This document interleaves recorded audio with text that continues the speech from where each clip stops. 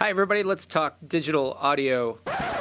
But first, let's talk analog audio. So, we've done the history of analog recording, and I want to remind you that it's available to you here at Capital. so something you should uh, consider using for some of your other projects, and I think you have to use in some other classes. It's a wonderful thing. What are all the advantages of analog, right?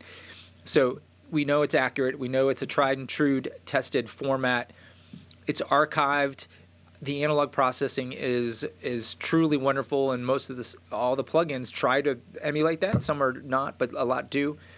We know what it sounds like. We know what to expect. We know that it's different. Not everyone likes that, but we like that. The limitations are actually probably a good thing. It prevents you from going overboard with mo- recording 100 tracks just because you can, which with a lot of pop productions you'll see that, and it just sounds awesome. There are lots of limitations, though, not and this is not even inclusive of everything. So obviously, it's fairly expensive to maintain. It can be punch in, punch out gaps. Not on the machine we have; it's a two-head machine, but on three-head machine, rewind time, all sorts of things. My favorite engineer, though, insists on using only analog. There's lots of things to think about this consideration. Let's talk digital history. So, pulse code modulation, everything that's based on digital audio, was invented by Alex Reeves when he worked at ITT. And he proposed that rather than taking a smooth analog signal and changing it to a smooth electrical signal, if you sampled that voltage of that electrical signal at regular times and gave it a binary 0 or 1, that these samples could be measured and stored with accuracy and on the other end decoded.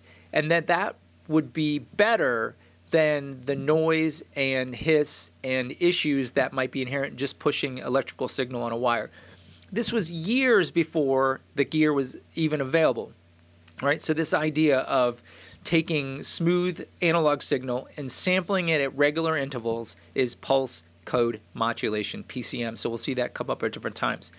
Now, the thing was, it was a theory because the gear didn't exist, but he was awarded for a patent for this in the late 30s, and it just wasn't possible yet with the equipment that was available to accurately do this the way that would make sense. So it was all in theory. Fast forward to the 1950s, and the transistor is invented. So the transistor replaces the vacuum tube, and the transistor does two things it's either a switch or an amplifier. And because of the small size of this, the equipment now is available to start putting this into practice. And one of the things that you are used to and you hear of is transistor radios.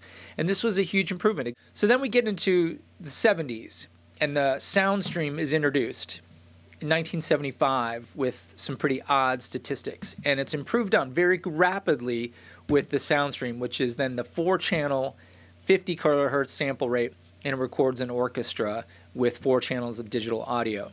The question is, did these sound any good? And the idea is no, not by modern standards. And I'm confident any analog recording made comparable at that time would have sounded better. The idea is this is where things really start to get pushed. And it rapidly improves. Late 70s, early 80s, the Sony PCM1 comes out. And if that's not a beautiful piece of craftsmanship, I don't know what is. Right? PCM1, pulse code modulation. And this becomes then the first consumer A to D, D to A converter. And this then is really the dawn of what we think of as the digital age. So up to this point, it had been theory, and now we have this idea that the consumer can buy this. With that, in uh, our two kind of important records that recorded in 1982, both digitally, with very early digital technology, and it's Donald Fagen's The Nightfly and the second album by Christopher Cross. And they're wonderful sounding records. So early digital at this point is still not bad if you have good ears. So I definitely recommend you checking out those early digital records.